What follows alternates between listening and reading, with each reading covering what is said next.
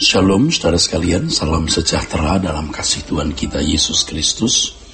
Kebenaran hari ini 8 Juni berjudul Bukan Suara Terbanyak.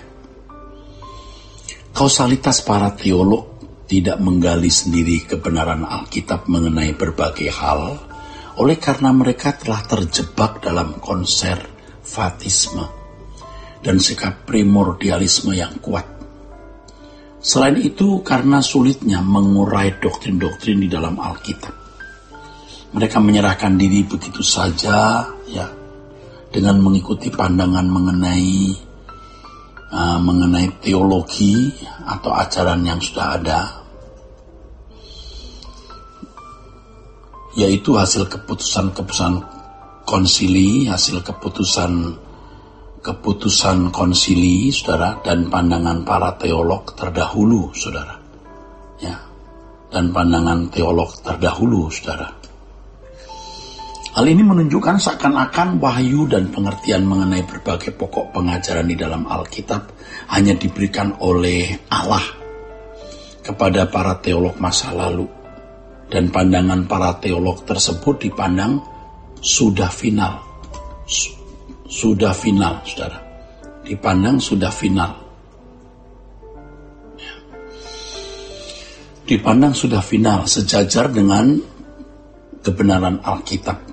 Dengan sikap ini Allah dipandang tidak lagi menyingkapkan kebenaran mengenai berbagai uh, pokok ya, berbagai pokok ajaran, berbagai pokok ajaran yang termuat di dalam Alkitab untuk waktu-waktu kemudian. Dalam hal ini seakan-akan pengertian mengenai berbagai pokok ajaran dalam Alkitab sudah tuntas dan final. Ya.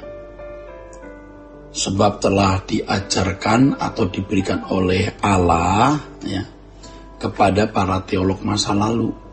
Sehingga tidak ada lagi yang perlu disingkapkan. Sudah tertutup bagi siapa pun yang mengeksplorasi Alkitab lebih mendalam di waktu mendatang. Jadi sebenarnya banyak pandangan teologi manusia yang sudah menjadi landasan, acuan dan anchor dalam membangun doktrin atau ajaran lebih dari Alkitab itu sendiri. Yaitu ketika mereka menulis buku, memberi pelajaran Alkitab, berkhotbah, memberikan seminar dan merumuskan doktrin mengenai ber berbagai pokok tema dalam Alkitab ya. Berbagai pokok tema dalam Alkitab ya. Mereka sudah punya acuan yang mutlak yaitu pandangan para teolog itu ya. Jadi sebenarnya banyak pandangan teologi manusia yang sudah menjadi landasan atau uh, dasar dalam bangun doktrin atau ajaran lebih dari lebih dari pada Alkitab itu sendiri. Yaitu ketika mereka menulis menulis memberi pelajaran Alkitab, berkhotbah, memberikan seminar dan merumuskan doktrin mengenai berbagai pokok uh, pokok tema ajaran dalam Alkitab. Ya. Ya. Tanpa disadari mereka melecehkan atau merendahkan Alkitab sebab menganggap tulisan dan ide para teolog dan hasil keputusan konsili ya, sejajar dengan kebenaran Alkitab, bahkan dianggap dan diperlakukan lebih tinggi dari Alkitab. Sehingga para teolog hari ini lebih mempercayai, lebih mempercayai pandangan para teolog masa lalu dan hasil-hasil keputusan konsili daripada menggali kebenaran Alkitab yang adalah sumber satu-satunya yang benar, valid, dan tidak berubah. Ya. Benar, valid, dan tidak berubah. Ya. Biasanya para teolog hari ini dan orang-orang Kristen pada umumnya menganggap pandangan para teolog terdahulu dan hasil keputusan konsili, ya, hasil konsili-konsili adalah sudah mutlak benar atau tidak salah sama sekali. Dengan demikian bukan Alkitab yang membawai doktrin. Dengan demikian ya, mereka mengkondisi dengan demikian mereka mengkondisi Demikian dengan demikian mereka mengkondisi keadaan di mana Alkitab dibawahi doktrin, bukan doktrin dibawahi Alkitab. Nah ini masalahnya saudara. Ya, mestinya doktrin yang dibawahi Alkitab, bukan Alkitab dibawahi doktrin, tapi dengan demikian mereka mengkondisi keadaan di mana bukan Alkitab yang membawai doktrin. Begitu saudara. Tetapi doktrin yang membawai Alkitab. Nah, ini adalah bentuk pengkhianatan terhadap Alkitab atau sikap subversif terhadap kebenaran Tuhan, ya, kebenaran Allah yang tertulis di dalam Alkitab. Selanjutnya banyak teolog berpikir bahwa pandangan para teolog masa lalu dipandang masih dan selalu up to date untuk kehidupan orang percaya kapan saja dan di mana saja termasuk untuk orang percaya di abad milenial hari ini. Jadi mereka itu memandang bahwa semua semua pandangan para teolog masa lalu itu selalu up to date.